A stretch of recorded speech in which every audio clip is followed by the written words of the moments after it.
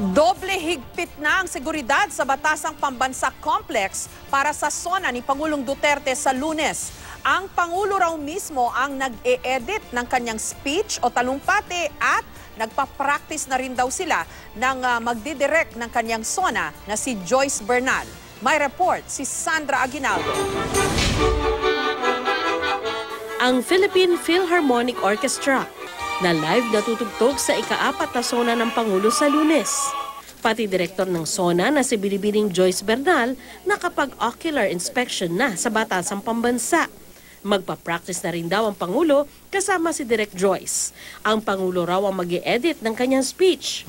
So far, yung ating State of the Nation address uh, preparation ay um, on its full swing. Ang presidente ay very hands-on sa kanyang speech. At um, for the past three years, siya talaga nag edit ng speech. Hinigpitan na rin ang seguridad sa Batasang Pambansa Complex. May outpost na ang militar sa main entrance. Kinordonan na rin ang entrance ng plenaryo.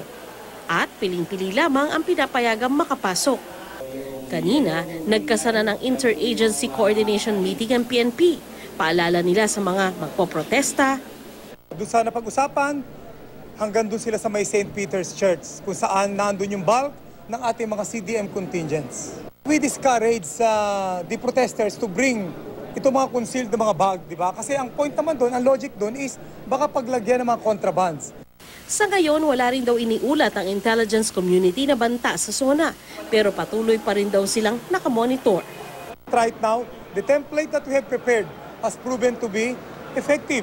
Uh, as experienced on the past three zonas na no single untoward incident was reported. Doble higpit ang seguridad sa zona lalo't maraming leader ng bansa ang dadalo. Kabilang sa nagkumpirma na si Supreme Court Justice Lucas Bersamin. I think most of the justices will uh, be likely to be there. No? Pagkaramihan sa amin eh, gusto namang uh, mag-take part dyan dahil official, uh, official na function yan. Sandra Aguinaldo, GMA News.